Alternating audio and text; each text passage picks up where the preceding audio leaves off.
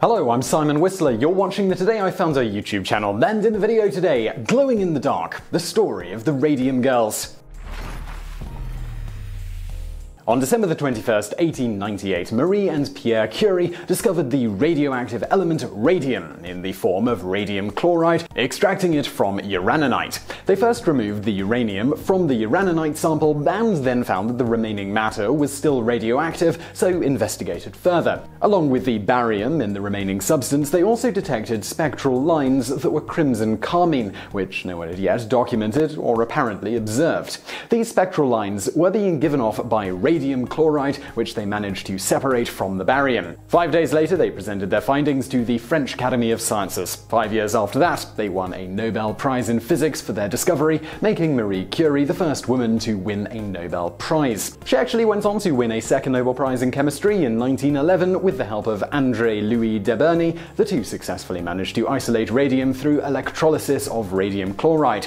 This second Nobel Prize made her the first person to ever win two. Radium soon became all the rage, and even bottled radium water was used as a health tonic, such as the popular Radithor brand certified radioactive water. Facial creams were also created that included the element, and these were supposed to rejuvenate the skin. The Radium Institute in New York City was actually giving out radium injections to those who had the money to pay for it. Further, certain brands of toothpaste started including it. High end spas began adding uranium ore to the water of their pools in an effect to capitalize on the radioactive craze created by the discovery of radium. Radium was even used as a treatment for those who had cancer after it was observed that exposing tumors to radium salts would shrink them. Beyond these medicinal uses, shortly after radium was discovered, it was found that if you mixed radium salts with zinc sulfide and a glue agent, the result would be a pale glowing paint thanks to the radium causing the zinc atoms to emit photons. This wasn't particularly useful in the daylight owing to the light emitted being very dim, but at night the glow was readily apparent close up. So this all brings us to watches. A problem in the trenches of World War I had developed where soldiers crawling and wading around in the mud weren't able to see their watch dials at night, and also their pocket watches themselves simply weren't very suitable for this environment.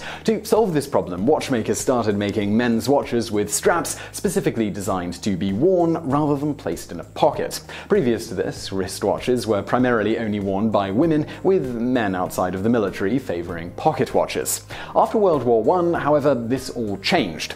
The watchmakers also began painting the watch dials with this special radium paint. The dimness of the glow was beneficial for the soldiers over normal light as they could tell the time without giving away their position. And now enters the US Radium Corporation, who the US military had given a contract to produce wristwatches with glowing hands for their soldiers. Beyond the soldiers, these new watches soon became all the rage among the general public as well. And with this boom, many young women, 4,000 in total employed by US Radium alone from 1917 to 1926 were hired by various factories to paint the watch dials with this special radium laced paint. The specific version they were using was what US Radium called Undark. It was pretty good paying work for the young women, who, on account of their small hands, were seen as perfectly suited to do the work. The girls earned 1.5 cents per dial painted, which is about 17 cents today. Not only that, as radium had been widely touted for its health benefits, getting to work with the stuff was seen by some as a perk,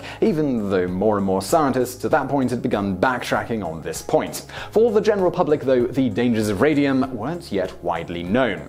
Despite the fact that US radium chemists had been writing up reports on the risks of excessive exposure to the radium, the girls were told the paint was completely safe and even encouraged them to use their lips and tongues to keep their brushes as fine tipped as possible for precisely painted dials. Having been assured that it was completely harmless, among other uses, the girls also commonly painted their fingernails and even their teeth with it so that at night they would glow. Of course, what the girls seemingly didn't notice was that the upper management and scientists at US Radium were not so gung ho about exposing themselves to the substance. In fact, they used lead screens, masks, and other such protective barriers whenever they were working with it. They also were careful to avoid touching it themselves, always using tongs. As you might imagine, not only US Radium's girls, but workers at other dial painting factories quickly started to develop odd medical issues that their doctors could not explain. Frances Splettstocker, who worked at a Woodbury, Connecticut dial painting factory, in 1925 developed anemia and began having jaw and tooth pain along with arthritic symptoms. When her dentist attempted to remove one of the aching teeth, part of Splettstocker's jaw ended up breaking away at the same time. Soon, her gums and cheek rotted away, ultimately resulting in a hole in her cheek. Her health continued to deteriorate, and she was dead within a month of having her tooth pulled. Over in the Orange, New Jersey factory, four other girls had recently died, and many more were ill with strikingly similar symptoms. And all of this now brings us to Grace Fryer, who in 1922 had her teeth inexplicably start to loosen and then later began to fall out.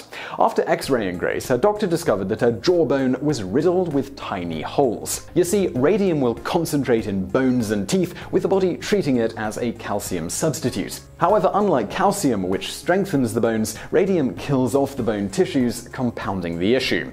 Other doctors examined Grace in an attempt to find the underlying cause of these strange symptoms, which they began seeing more and more of in various young women in the town. They eventually realized that all the women were either currently working at or had once worked as watch dial painters. It was then suggested to Grace that perhaps the health problems that she had been experiencing were related to her former employment in some way. Grace then sought out the help of a specialist, and that's when Dr. Frederick Flinn from Columbia University came onto the scene. After thoroughly examining Grace, he and a colleague of his, both claiming to be medical experts, declared there was absolutely nothing wrong with her. The problem was that Flinn was not a licensed physician, though was a toxicologist who, it turned out, secretly worked for US Radium. And what about his colleague? Well, he was one of the vice presidents at US Radium, unbeknownst to Grace. The reality was that US Radium, they couldn't keep the lid on this terrible secret much longer. But that didn't stop them from trying. They paid off doctors and dentists to claim that the girls were suffering from the sexually transmitted disease syphilis and generally having this listed as the cause of death when the girls died. This was with the hope that it would not only throw the media off the scent, but also sully the girls' reputations. If the doctors who examined some of the girls were unwilling to make false claims, they simply paid them not to talk to the media. A few years earlier, Cecil Drinker, a Harvard physiologist, was hired by US Radium to come and write a report on the conditions at the factory. Unfortunately, Drinker couldn't be so easily paid off. His report, after examining the girls in the factory, was utterly dire. Among other things, he noted that dust samples collected in the workroom from various locations and from chairs not used by the workers were all luminous in the darkroom. Their hair, faces, hands, arms, necks, and dresses, the underclothes, even the corsets of the dial painters were luminous. One of the girls showed luminous spots on her legs and thighs. The back of another was luminous to the waist. Besides also accurately painting a picture of the state of the girl's health, he suggested a series of things that could be done to fix the underlying problem of the overexposure to radium. Not only were all of his suggestions ignored, but US Radium took his report and then rewrote it, though still listing him as the author. In the new report filed with the New Jersey Department of Labor, it claimed that every girl is in perfect condition. Now, this brings us back to a few years later in 1925 when Drinker discovered that his report had been rewritten. Needless to say, he wasn't best pleased. He then tried to submit his original report for publication. US Radium threatened to sue him, but he ignored them. As the media exposure continued to grow, Grace Fryer decided to take legal action against US Radium. Of course, suing a major defense contractor like US Radium, it wasn't easy. They just simply had boatloads of money and connections with just about every level of government. Lawyers wanted no part in such a lawsuit. In fact, it took Grace a full two years to find a lawyer willing to take her case, all the while her health continued to decline. Finally, in 1927, attorney Raymond Berry and the Consumers League of New Jersey, on behalf of Grace and four other Radium girls, Catherine Schaub, Edna Hussman, Quinta McDonald, and Albina Larice, filed a suit against US Radium seeking 250 $1,000 in damages, which is about $3.4 million today. However, US Radium wasn't giving up without a fight. At every turn, they sought to delay the trial as much as possible with the hope that all of the women in the case would die before an outcome could be reached,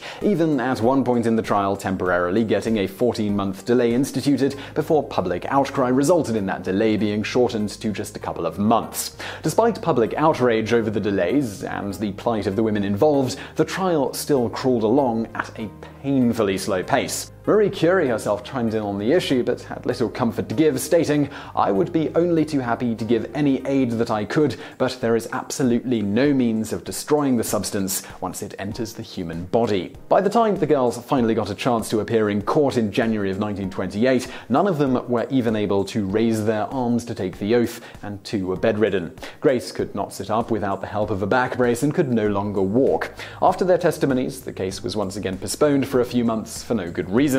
Despite the fact that one medical expert testified that all the girls in the case would be dead in a year from radium poisoning, in the next hearing in April, US Radium convinced the judge to postpone the trial once again, owing to the fact that some of US Radium's expert witnesses were currently on vacation and would be for many months. The move was called by journalist Walter Lippmann one of the most damnable travesties of justice that has ever come to our attention. It is an outrage that the company should attempt to keep these women from suing. There is no possible excuse for such a delay. The women are dying. If ever a case calls for prompt adjudication, it is the case of five crippled women who are fighting for a few miserable dollars to ease their last days on Earth. In the end, the five girls whose medical bills were piling up as their bodies rapidly deteriorated, seeing the trial would not likely conclude before some of their deaths, indeed all five were dead by the mid 1930s, decided to try settling out of court. US Radium they agreed to this, though they did manage to get a US Radium stockholder, District Court Judge William Clark, assigned to be the mediator.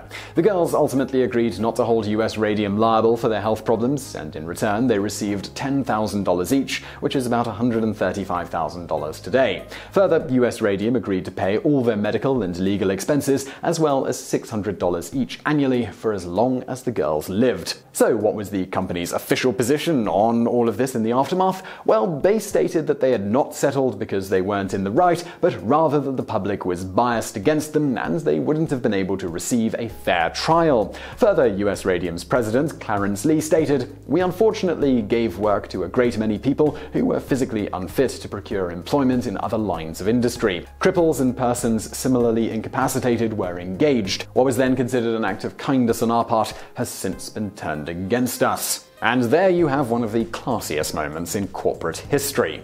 So, well, what was the aftermath of all of that? Well, despite denials of any fault by US Radium, after the lawsuit, they and other factories that dealt with radium laced paints quickly changed the working conditions of the dial painting girls. The previously recommended lip pointing to keep a fine tip on the brushes was now strictly forbidden. Further, the girls were provided with various means of protection to minimize exposure to the paint. After these simple changes were instituted, the health issues among dial painters quickly disappeared, though it's probable that at least some still got cancer later in life as a result of working with the radium paint. But at the least, the problem was no longer systemic among most of the workers. The fact that the changes were instituted so easily and were a resounding success, along with the fact that the scientists and upper management at US Radium had previously taken steps to protect themselves, but not the simple ones for the girls, further outraged the general public. On that note, even though the Radium girls settled out of court and quickly died off, their lawsuit and the media storm around it produced a significant impact on the labor rights movement, including establishing a precedent for workers to be able able to sue corporations for labor abuses, as well as improving industrial safety standards to protect workers, and later partially being used as a means to get a congressional bill passed